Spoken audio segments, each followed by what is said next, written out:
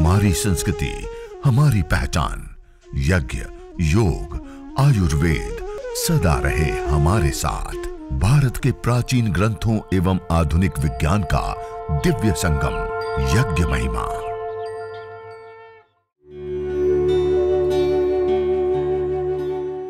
भारतीय संस्कृति में यज्ञ, योग एवं आयुर्वेद जैसी अमूल्य विद्याएँ हैं, जिसका मूल है वेद।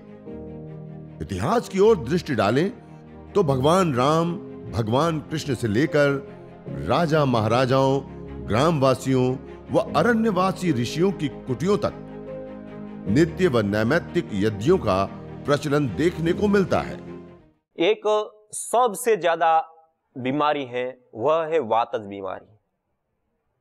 वातज बीमारियों के कारण अनेक प्रकार के शरीर में दर्द होते, घुटनों में दर्द, कमर में दर्द साइटिका गठिया, और कई सारी सर्वाइकल स्पॉन्डलाइटिस से लेकर के कई सारी प्रकार के कमर में दर्द, ये सारी सारी कई बीमारियों का घर बन जाता है। मतलब दर्दों का घर बन जाता है हमारे शरीर। वात बढ़ जाता है, वात विकृत हो जाता है, और विशेष रूप से कोष्ठबद्धता हो जाती है। पेट उनका कठोर हो जाता है, जो खाते हैं, उसके बाद जो पचन आदि क्रिया, उसमें भी डकारे आती रहेगी, गैस बनती रहेगी, मल क्रियाएँ सही से संपन्न होगी, कब्ज बनी रहेगी ऐसी ऐसी कई सारी समस्याएँ बनी रहती हैं। तो वो क्या करें? तो उसको यज्ञ में जो घृत का हम प्रयोग करते हैं, उस घृत को हमें 25 प्रतिशत लेना और प्रतिशत तिल के तेल का प्रयोग करना हो। सके तो काले तिल का तेल और ना हो सके तो सफ़ेद तिल का तेल। तिल के तेल का हमें प्रयोग करना है। सामग्री में भी विशेष रूप से काले तिल हमें मिलाने हैं। और सामग्री बनाने के लिए वातारी हवन सामग्री, उसमें विशेष रूप से जो वातज रोगों को शांत करने वाली जो जड़ी बूटियाँ हैं, उसमें ज्योतिषमती अगर तेजपत्ता, अपामार्ग, गुग्गुल तालिस पत्र निर्गुंडी विशेष रूप से और रासना विशेष रूप से हमें प्रयोग, निर्गुंडी और रासना का विशेष रूप से प्रयोग करना है। अश्वगंधा, अरंड अरंड के बीज का भी प्रयोग कर सकते हैं, उसके पौधे, पत्ते आदि का भी, उनकी जड़ का भी हम प्रयोग ले सकते हैं और उसके जो तेल होता है, उस तेल का भी हम आहुति के रूप में भी और सामग्री में जो मिलाते हैं, उसके लिए भी उस तेल का हम विशेष रूप से प्रयोग करें। एरंड जो होती हैं, उसका तना से पूरे पंचांग का भी हम प्रयोग ले सकते अलग अलग जो भी उनके विकार हैं, उन सब का हम इसमें प्रयोग ले सकते हैं। अरंड के बाद है देवदारू, कचूर गुड़वज और अतीस। अतीस मीठा, अमलतास। अमलतास की फली का हम प्रयोग करते हैं। और शतावर, पिपली, कुटज, हरड़, चव्य, गिलोय आदि जो ये वात सामक जो विशेष औषधियाँ ऐसा ज़रूरी नहीं कि सारी मिल जाए उसमें पारिजात निर्गुंडी ये सब जगह पे सरलता से उपलब्ध होती हैं। उसको ही ले लिया जो भी उपलब्ध हो जाए वो जड़ी बूटियों को लेकर उसका सम्मिश्रण करके और हम कर सकते हैं। और ये तैयार हवन सामग्री अभी पतंजलि की सब जगह पे आ, आ गई है। तो इस सामग्री को भी आप मंगा सकते हैं और इसको लेकर के आप हवन कीजिए इसी की धुनी कीजिए और धुनी में विशेष रूप से एरन का जो तेल होता है उसको और तिल का तेल उसकी धुनी हम विशेष रूप से करेंगे इन सामग्रियों के साथ। और गुगुल गूगल भी विशेष रूप से वातज रोगों को शांत करने में, वैसे तो तीनों प्रकार के रोगों को शांत करने वाला होता है गूगल। तो गूगल का प्रयोग करें और वातज रोगी विशेष रूप से भस्म का पानी का भी प्रयोग करें और नासिका में विशेष रूप से वो, ये जो घृत बचता हूँ, घृत की दो दो चार चार बूंदे विशेष रूप से डाले, कपाल भाती आदि प्राणायाम विशेष रूप से करें, रोगानुसार योगाभ्यास करें। तो इस प्रकार से यह जो वात से संबंधित जितने भी रोग हैं, उन रोगों के लिए आपको कुछ विशेष रूप से बता दिया। और एक बीमारी आज सबसे ज़्यादा अनफर्टिलिटी की बढ़ रही है। आज हमारा खाना पीना जहरीला हो गया है। बहुत सारा जहरीला होने के कारण हमारे शरीर के अंदर असंतुलन हो गया है और हमारा जो देखने वाला दृश्य है, टीवी चैनलों से लेकर के सोशल मीडिया से लेकर सारी चीज़ें, उसमें वासना विकारों से इतना भरा रहता है, जिसके कारण से आज का जो युवा वर्ग है, वो वासना और व्यसन में सबसे ज़्यादा ग्रसित हो रहा है। और उसके कारण वो अपनी शक्तियों को तुच्छ व्यर्थ कामों में खर्च कर देते और उसके कारण उनके शरीर में बहुत बड़ी मात्रा में इस प्रकार की न्यूनता आने के कारण संतति की उत्पत्ति ना होना और भी कई सारी प्रकार की बीमारियाँ जो हम नॉर्मल खाना पीना ले रहे हैं, वही भी इतना जहरीला है जिसके कारण से यह अनफर्टिलिटी आदि की बहुत बड़ी मात्रा में प्रॉब्लम रहती है और बहुत बड़ी समस्याएँ रहती हैं। तो उसके लिए हम गर्भधा हवन सामग्री, विशेष रूप से गर्भ को पुष्ट करने वाली, ये पहले भी प्रयोग कर सकते हैं और गर्भवती होने के बाद भी हम प्रयोग कर सकते हैं बच्चे के पोषण के लिए, आदि के लिए। तो उसमें विशेष रूप से पुत्र जीवक, नाग केसर, काय फल, सरपुंखा, जटामासी, वच अनंत मूल मिश्री, अपामार्ग, शिवलिंगी बीज। एक कुछ विशेष जड़ी बूटियाँ और इसके साथ थोड़ी मात्रा में 25 प्रतिशत कुछ 10 मूल क्वाथ मिला दें। और इससे हम हवन करें, अग्निहोत्र करें, यज्ञ करें और इसी की धुनी करें और इस धुनी में विशेष रूप से गुगुल की धुनी विशेष रूप से हम करें मिश्री की धुनी करें मिश्री गुगुल आदि। और उसमें हम कपाल भाती, अनुलोम विलोम आदि प्राणायामों का अनुष्ठान की भ्रांति अभ्यास करें। और हमने देखा ये चीज़ करने पर एक बहन करीब 40 साल से अधिक उम्र हो गई थी और उनका मासिक स्राव नहीं था। उनको संतान नहीं हो रही थी और अलग अलग प्रकार के कई सारे प्रयोग वो कर चुकी थी। उसके बावजूद भी कुछ नहीं हो रहा था और उसके बाद वो इसी लालच से सब निराश होकर के बस अब जीवन से वो हो गई थी और उस समय उनको यज्ञ का एक सहारा मिला और उन्होंने प्रतिदिन यज्ञ करना शुरू किया और आप आश्चर्य करेंगे, एक साल कुछ बीता, उसके बाद उनका 40 साल के बाद मासिक उनका शुरू हो गया। तीन एक महीने बीते, उसके बाद वो गर्भवती हो गई और नौ महीने होने पर उन्होंने स्वस्थ बच्चे को जन्म दिया और एक नहीं परमपिता परमात्मा ने उनको एक साथ जुड़वा, दो और एक भाई और एक बहन को जन्म दिया। और वो परिवार इतना खुश, इतना तृप्त हुआ कि बाद में, और कल आदरणीय भाई सुरेश भाई जी भी एक केस के बारे में हम सबके सामने रख रहे थे एक विशेष रूप से एक बहन का। और ऐसे हमने कई सारे भाई बहनों को देखा है कि यज्ञ चिकित्सा को, हवन को, अग्निहोत्र को करने पर जो हमारे शरीर के अंदर कोई फॉल्ट है कोई समस्या है तो वो भी दूर होती है। स्पम काउंट आदि या फिर जो भी समस्याएँ हैं, वो सारी की सारी समस्याएँ हमारी दूर होती हैं। और हमारे शास्त्रों में, पूर्व कर्माशयों का भी उसमें ज़िक्र है आयुर्वेद आदि ग्रंथों में, कि हमने पूर्व जन्म में कुछ ऐसे कर्माशय किए, कुछ ऐसे कर्म किए, जिसके कारण भी हमें इस जन्म में संतान की प्राप्ति हो ना हो, उसके लिए वो दिक्कत होती है। तो यदि पूर्वकृत जन्मों के जो कर्माशय के कारण भी यदि इस प्रकार की कोई समस्या आती है, तब भी आप यज्ञ करेंगे, हवन करेंगे, अग्निहोत्र करेंगे तो पूर्व जन्म के द्वारा किए गए जो कर्म का प्रतिफल आज आपको दुख रूप में मिल रहा है, संतान के अभाव के रूप में मिल रहा है, वो भी आपका शांत हो जाएगा, उसको भी संतान की प्राप्ति होती है। तो इस प्रकार से गर्भता हवन सामग्री का हम विशेष रूप से प्रयोग करके हर एक प्रकार की जो समस्याएँ हैं, उनको हम दूर कर सकते हैं। इसी प्रकार एक विशेष और बीमारी है, वह आज सबसे ज़्यादा बढ़ रही है और हार्ट अटैक के कारण आज बहुत बड़ी मात्रा में लोग जान गंवा रहे हैं। और कल भी आपने एक हार्ट, चार बार हार्ट फेलियर के बाद डॉक्टर लोगों ने जवाब दे दिया। उसके बावजूद उनको एक नव जीवन मिला, आदरणीय भाई सुरेश भाई जी की माता जी हीरा बहन। तो जिसे कल आपके सामने प्रत्यक्ष उदाहरण रखा था। तो अब हार्ट से संबंधित कोई बीमारी है, कोई धमनियों में ब्लॉकेज है, हाई ब्लड प्रेशर है, लो ब्लड प्रेशर है, या और भी कोई समस्या है तो उसमें क्या करें? तो उसके लिए कुछ जड़ी बूटियाँ, सामग्री आप लिख सकते हैं। उसमें हृदय हवन सामग्री का हम विशेष रूप से प्रयोग करते हैं। और उस हृदय हवन सामग्री, ये हृदय हवन सामग्री है, उस हृदय हवन सामग्री में हम विशेष रूप से अर्जुन अर्जुन क्वाथ, अर्जुन की जो छाल होती है, उसका विशेष रूप से प्रयोग करते हैं पर्याप्त मात्रा में। और उसके साथ पुष्करमूल, जटामासी, वच, पुष्करमूल, जटामासी, वच, रासना, दालचीनी और हल्दी, ये कुछ विशेष जो जड़ी बूटियाँ हैं, उनको कुछ मात्रा में मिलाते हैं, लेकिन विशेष रूप से प्रधानतया पचास प्रतिशत से ज़्यादा अर्जुन की छाल रखते हैं। और उसको मिला करके सामग्री तैयार कर देते हैं और इस सामग्री से हवन कराते हैं, अग्निहोत्र कराते हैं, यज्ञ कराते हैं और उसमें कपाल भाती धीरे धीरे अनुलोम विलोम आदि प्राणायाम विशेष रूप से कराते हैं।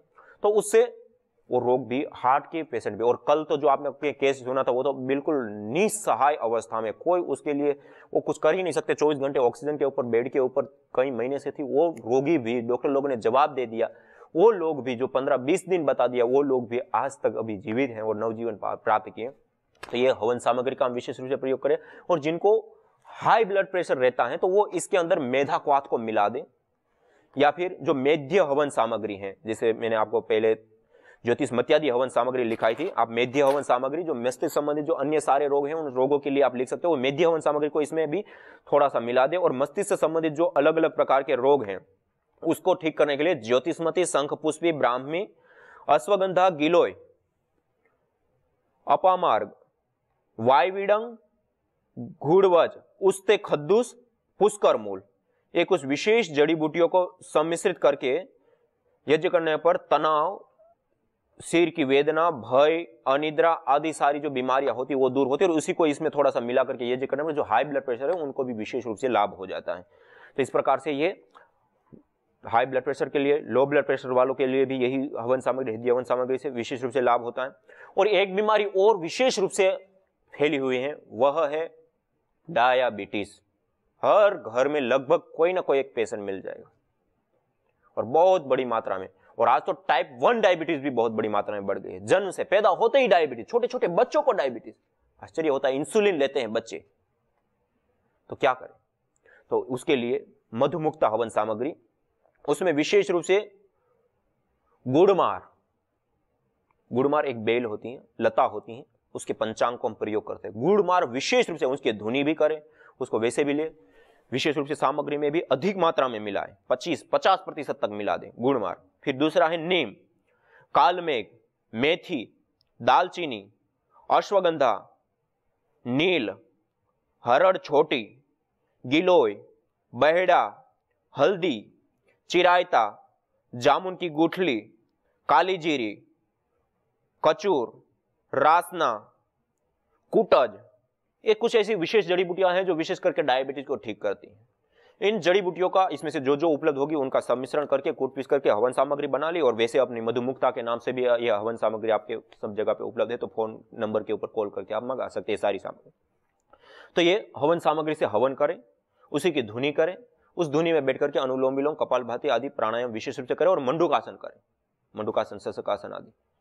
विशेष रूप से उनको डायबिटीज़ में वक्रासन आदि करने पर लाभ होता है अर्धमत्स्यन्द्रासन विशेष रूप से कपाल भाती करें और ये मधुमुक्ता जो हवन सामग्री, उससे धुनी भी करें और हवन भी करें। और एक बीमारी और विशेष रूप से आज वायु प्रदूषण और ये सारी चीज़ें होने के कारण बढ़ रही है, वह है अस्थमा, दमा या फेफड़ों से संबंधित जो श्वासज रोग हैं वो। कई सारे प्रकार के श्वास संबंधित रोग।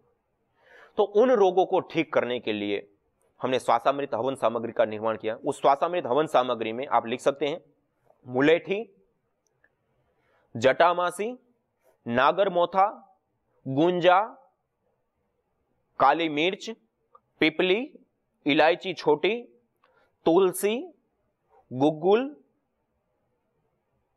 ये कुछ विशेष जड़ी बूटियाँ हैं। इन जड़ी बूटियों का सम्मिश्रण करके हमें हवन करना है। और गुगुल और ये जड़ी बूटियों से भी हम पहले शुरुआत में इसके, जिसको ज़्यादा प्रॉब्लम है तो इसकी धुनी करने पर उनको दिक्कत होगी। तो वो राल आता है, एक राल। साल के पेड़ के गोंद को राल बोलते हैं। तो वो भी मिल जाता है। और ये गुगुल जो मिल जाता है। उसको थोड़ा पहले तो हवन करें, हवन के बाद इसकी हल्की हल्की धुनी करें और उस धुनी में बैठ करके भस्त्रिका, अनुलोम विलोम आदि प्राणायाम करने का अभ्यास करें। बहुत ज़्यादा ही प्रॉब्लम पहले अनुलोम विलोम ही करें ज़्यादा मात्रा में। धीरे धीरे कपालभाति करें और धीरे धीरे धीरे इंप्रूव आने लगेगा और 10 15 20 दिन के बाद आप पूरा अच्छे से भस्त्रिका आदि भी प्राणायाम करने के वो हो जाएँगे और फिर अच्छे से आप धुनी भी ले पाएँगे और धीरे धीरे वो ठीक हो जाएगा। और हमने कई सारे लोगों को देखा जिनके अस्थमा, दमा के पंप छूट जाते हैं। कई सारे लोग, जैसे आज ही मैंने एक उदाहरण बताया, बेन नैना जी का। इसी प्रकार से कई सारे लोगों को, और आदरणीय भाई श्रवण भाई जी आज हमारे साथ इस यज्ञ में विशेष रूप से जुड़े हुए, और जिन्होंने पूरा हम सब लोगों को जोड़ करके यह एक बहुत बड़ा यज्ञ प्रचार का कार्य कर रहे हैं। उन्होंने कितने सारे अस्थमा दमा के ऐसे पेशेंट जिनके पंप छुड़वा दिए। भाई सुरेश भाई जी, बहन निर्मला बहन बहुत विशेष रूप से। इसमें यज्ञ करो, इस स्वास्थ्य सामग्री, और उसके बाद गूगल की है, राल की है धुनी और इसकी यही विशेष जो द्रव्य है, इन्हीं की धुनी करने पर वो ठीक हो जाता है। तो इस प्रकार से ये स्वास्थ्यमृत हवन सामग्री, और जिनको टीबी से संबंधित थोड़ी प्रॉब्लम टीबी हो जाते हैं टीबी के भी रोगी ठीक हो जाते हैं, बहुत जल्दी से। और हमने तो लेबोरेटरी वर्क करके भी यह सिद्ध कर दिया पतंजलि योगपीठ में कि जो टीबी के हैवी कई प्रकार के टीबी के बैक्टीरिया होते हैं, उसमें जो हैवी बैक्टीरिया होते हैं, वो भी नष्ट हो जाते हैं। तो उसके लिए है यक्षमा हवन सामग्री, वो भी आप लिख सकते हैं। उसमें मुलेठी, जटामासी नागरमोथा गुंजा, काली मिर्च, पिपली, इलायची छोटी, तुलसी गुगुल ये कुछ विशेष जड़ी बूटियाँ हैं। उन जड़ी बूटियों को मिला करके हवन करने पर जो टीबी के रोगी हैं, वो भी ठीक हो जाए टीबी के जो रोग हैं, उसमें भी विशेष रूप से लाभ होता है। तो यक्षमा हवन सामग्री भी विशेष करके लाभ और उसमें जो राल है, वो बहुत विशेष रूप से लाभ करता है। राल की ध्वनि राल की ध्वनि, गुगुल की ध्वनि। तो उसकी ध्वनि का हमें विशेष रूप से प्रयोग करना है। और एक रोग और है। वह है पित्तज रोग। किसी को बहुत ज़्यादा एसिडिटी बनती है। छाती में पूरी जलन होती है। पेट में ऐसा लगता है कि जैसे आग लग रखी हो। और आँखें लाल हो जाती है। बाल असमय में ही सफ़ेद हो जाते हैं। सिर ऐसा भारी और गर्म हो जाता है। उल्टी सी होने लग जाती है। और शरीर के ऊपर फोड़े, फुंसियाँ होने लग जाती है। इतनी खुजली, दाग धब्बे हो जाते हैं। पेशाब में जलन होती है और असमय में ही कई सारे प्रकार के आयु बढ़ने के जो लक्षण होते हैं, वो घटित होने लगते हैं पित्त बढ़ने के कारण। कई सारी समस्या, आँखें के ऊपर चश्मा आ जाते हैं, कई सारी प्रकार की समस्या हो जाए तो पित्त जिनको बढ़ जाते क्या करें? पित्त के लिए श्वेत चंदन। श्वेत चंदन का हम विशेष रूप से इसी से आहुति दे, इसी से हवन करें। और हो सके तो इसमें गुलाब की पुंखुड़िया, गुलाब की पत्तियाँ दोनों को मिला दे पचास प्रतिशत, पच्चीस प्रतिशत इसमें श्वेत चंदन और गुगुल। और खस, ये जो शीतल औषधियाँ होती उनसे ही हवन करना है। और गुलाब की पत्तियों की धुनी करिए या चंदन की धुनी कीजिए और उसमें बैठ करके और राल थोड़ा सा ले सकते हैं और उसमें बैठ करके अनुलोम विलोम कीजिए। खाली श्वेत चंदन हमने देखा खाली श्वेत चंदन खाली गुलाब की पत्ती, ये सब जगह पे उपलब्ध हो उसी को आप डालिए और उसके, उसी में अनुलोम विलोम कीजिए धुनी लीजिए। हमने देखा जिनको बहुत ज़्यादा सिर भारीपन हो रहा है उल्टी सा हो रहा है, छाती में जलन हो रही है, पूरे फोड़े फूंसे ने, उनको धुनी देते और उस धुनी में रह करके अनुलोम विलोम कराते उसका हवन करा देते हैं। और 10-15 मिनट में ही शांति मिल जाती है। 10-15 मिनट में तात्कालिक शांति मिलती है। गुलाब की पत्तियों की धुनी लीजिए। ये श्वेत चंदन की, को डाल करके उसकी धुनी लीजिए। तुरंत शांति मिल है। तो ये पित्तज रोग जिनको होते हैं, उनके लिए भी विशेष रूप से ये श्वेत चंदन है, गुगुल है, खस है, या बिल का जो, बिल्व का जो गुद्दा होता है, बिल्व फल का गुद्दा, या बिल्व की पत्तियाँ हैं शीशम की पत्ती हैं, जो ठंडे पदार्थ होते हैं, वो सारे ठंडे पदार्थों का हम इसमें प्रयोग लेकर के वो प्रयोग कर सकते हैं। और जिनको माताओं बहनों को भी जैसे मूत्र संस्थान से संबंधित कुछ बीमारियाँ होती है और बिल्डिंग आदि की समस्या रहती हैं तो उनको भी शीशम के पत्ती हैं या फिर बिल्व की पत्ती हैं, गुलाब की पत्तियाँ हैं, उनकी धुनी करिए श्वेत चंदन है, उसकी धुनी कीजिए और उस धुनी को लीजिए और ब्लीडिंग कम हो जाता है, खत्म हो जाता है, उसकी समस्या पूरी तरह से नाबूद हो जाती है। इस प्रकार से अलग अलग रोगों में अलग अलग औषधियाँ अलग अलग जड़ी बूटियों का प्रयोग करके हम कई सारे प्रकार के रोगों से शांति पा सकते हैं और ये एक विशेष हवन सामग्री हमने निर्माण किया है। इसमें धूमे, अनिलेवा, अर्थात जो वायु प्रदूषण आज पूरे संसार में बहुत बड़ी मात्रा में बढ़ रहा है। और हमारे आयुर्वेद आदि ग्रंथों में कहा है, जब वायु प्रदूषित हो जाती है, वायु विषाक्त तत्वों से युक्त हो जाती हैं और पंछी उड़ते हुए उस विषैली वायु के कारण गिर पड़ते हैं, लोगों को गले में जलन सी होने लगती है, नासिका में जलन सी होने लगती है, दम सा फूलने लगता है, दम सा घुटने लगता है और इस प्रकार के जो मतलब आज जो वायु प्रदूषण बढ़ जाते हैं, तब जो जो समस्या होती है, इस इस प्रकार की समस्याएँ गिनाई और ऐसी ऐसी जिनको समस्याएँ होती हैं, उन समस्याओं के दौरान, उस समस्याओं के समय विशेष रूप से विषग्न धूप से हवन और विषग्न धूप से धुनी धुआँ करने पर वो रोग हमारे वा, वायु के अंदर जो विषाक्तता है वायु प्रदूषण है वो ठीक हो जाता है उसके कारण होने की खाली कॉम्प्लिकेशन है वो भी ठीक हो जाती है। तो इसके भी द्रव्य आप लिख सकते हैं। उसमें लाख है हल्दी है अतीस है हरड़ मोथा निर्गुंडी इलायची तमालपत्र तगर पुष्कर मूल या पुष्कर मूल की जगह पे कुष्ठ और फूल प्रियंगु, जिसको निर्गुंडी आदि का भी हम प्रयोग इसमें विशेष रूप से लेते हैं, निर्गुंडी। तो ये कुछ द्रव्य है। इन द्रव्यों को मिला करके गाय का घृत मिला देते हैं इसमें, और इससे ही हवन और अंगारों के बाद डाल करके उसकी धुनी करना।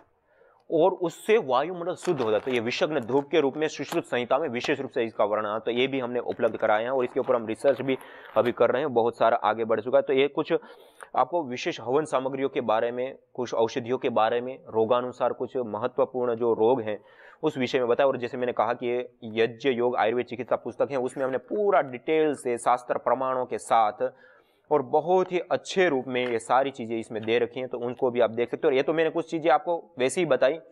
इसमें धूम्र के भी बहुत सारे ऐसे प्रयोग बताए गए हैं कि अलग अलग रोगों में, कौन से रोग में, किस प्रकार से धूम्र चिकित्सा का जो हमारे शास्त्रों में वर्णन बताया गया है, उसके अनुसार हम इन धूम्र चिकित्साओं को लेकर के भी अलग अलग द्रव्यों की धुनी करके वो भी हम आगे देखेंगे समय के अनुसार। जैसे भी होगा तो धूम्र चिकित्सा को करने पर क्या क्या लाभ होता है, किस प्रकार से लाभ होता है, वो सारी चीज़ें हम आगे रखेंगे। लेकिन अब समय हमारे पास से विदा ले रहा है, लेकिन कल के प्रश्नों में आप लोगों में से कुछ भाई बहनों ने पूछा था कि हमने सुना है कि तुलसी पवित्र होती है, उसकी पूजा की जाती है, उसको तो हम जलाते नहीं है। दूसरा पीपल की पूजा की जाती है, उसको भी जलाना नहीं चाहिए, ऐसा हमने सुना हुआ है। हाँ निश्चित रूप से हमने सुना है।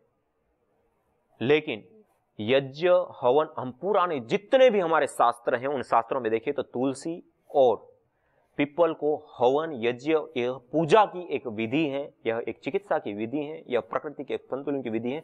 उसमें प्रयोग करने के लिए बार बार लिखा है लेकिन हमने अभी तक कहीं पे ये नहीं सुना है या नहीं ओ, नहीं पढ़ा कोई शास्त्र में कि पीपल और तुलसी का प्रयोग हवन में नहीं करना चाहिए। तो आप निश्चिंत होकर के तुलसी का और पीपल का या पीपल की लकड़ी का आप अवश्य में वो प्रयोग इसमें ले सकते हैं और इससे अनेक प्रकार के रोग, असाध्य बीमारियों से छुटकारा पा सकते हैं। हाँ लेकिन पीपल में होता क्या है? मना क्यों करते हैं? क्योंकि पीपल पेड़ में कोई फल विशेष इस प्रकार का होता नहीं। कोई इस प्रकार की उसमें आमदनी होती नहीं। लोग उसके पेड़ों को लगाते नहीं है, सामान्य रूप से। जो प्राकृतिक रूप से लगे हुए होते हैं, वही वो होते हैं। उसको आप वैसे लगाओगे, उसके बीज आदि को, वो होते नहीं है। जब तक उनके बीजों को कोई पंछी खाए और कहीं बीट करे और वो बीट जब तक वो गीली ना हो और वहाँ पे जब बारिश ना हो, तब तक वो नहीं उगता। उसी पद्धति से वो उगता है। तो उसमें एक बहुत लंबी प्रोसेस और वो होती है, हमारी ओर से हम बीज डाल दें और उग जाएँ। बरगद है, पीपल है, ये कुछ ऐसे पेड़ होते हैं जो बीज लगाने पे नहीं उगते। जब उस बीज को पंछी खाते हैं, बीट करते हैं, उसके बाद वो उगते हैं और उसके बाद वो पौधे होते हैं। और सामान्य रूप से कोई आमदनी आदि होती नहीं तो लोग उसको लगाते नहीं। तो हम पीपल आदि के पेड़ पौधे भी अवश्य लगाए। पीपल है, बरगद है, तुलसी है। और फिर उसके बाद हम उसका प्रयोग करें। अन्यथा हम उसका प्रयोग तो ले रहे, काट तो रहे लेकिन लगा नहीं रहे तो वो तो नाबुद हो जाएँगे। तो इसलिए हमें इस रूप में देखना चाहिए और इसको हम आराम से इसमें प्रयोग ले सकते हैं। तो आज हम सभी लोग ने कुछ रोगानुसार चिकित्सा के विषय में कुछ जाना तो अब यहीं पे हम विराम देते हैं। सभी लोग सीधे बैठते हुए, परमपिता परमात्मा से प्रार्थना करते हुए और विशेष रूप से हमारे आदरणीय भाई, श्रवण भाई, आदरणीय हमारी माता निर्मला माता जी, आदरणीय भाई सुरेश यादव जी और हमारे पूरे मुंबई की टीम, आदरणीय भाई तरुण भाई साहब से लेकर के सभी हमारे योग योद्धा, साधक, याज्ञिक भाई बहनों को मैं नमन, वंदन करते हुए, प्रणाम करते हुए आज के इस सत्र को विराम देते हैं। सभी लोग सीधे बैठते हुए शांति पाठ करते हैं लंबा गहरा श्वास भरते हुए। ओ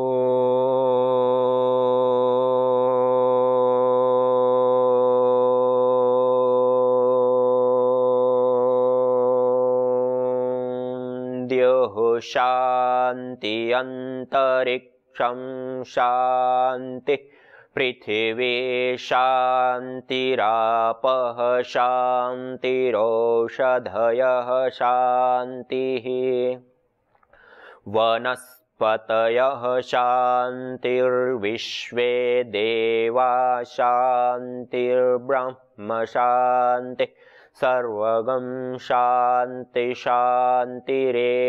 शान्तिः सा मा शान्तिरेधि ओम शांति शांति शांति ही ओ।